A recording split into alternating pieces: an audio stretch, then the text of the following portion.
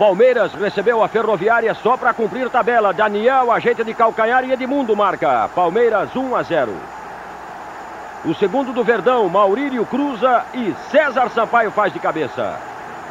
No segundo tempo, Edilson se antecipa ao chute de Soares e aumenta para 3 a 0.